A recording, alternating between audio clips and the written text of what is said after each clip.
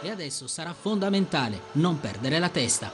Guai a farsi prendere dalla frenesia, mantenere i nervi saldi è il primo passo per uscire dal tunnel. Dopo un girone d'andata letteralmente dominato, la regina di Toscano fa i conti con la prima vera crisi della stagione, quella macchina perfetta costruita per asfaltare ogni cosa, adesso arranca in salita.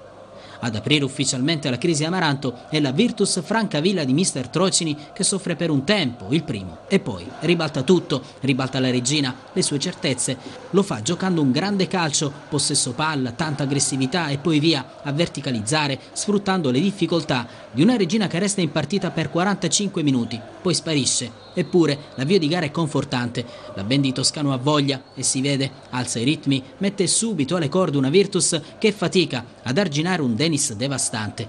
Fa coppia con corazza l'argentino e non è certo l'unica novità rispetto a Bisceglie.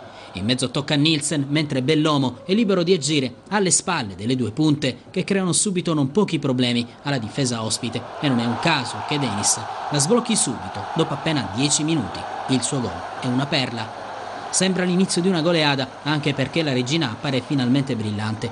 Toscano osserva soddisfatto, ma la squadra ha il torto di non chiudere la partita quando ne avrebbe l'opportunità. E così la Virtus prende fiducia e passata la burrasca inizia a mettere il naso fuori complice anche un calo della regina, calo che diventa ancora più evidente nella ripresa quando gli Amaranto restano di fatto negli spogliatoi. Il secondo tempo è un incubo per la regina che perde tutti i duelli, appare stanca e dopo il gol del pareggio firmato da Risolo la squadra si disunisce e va nel pallone. Inizia un'altra partita con gli ospiti assoluti protagonisti.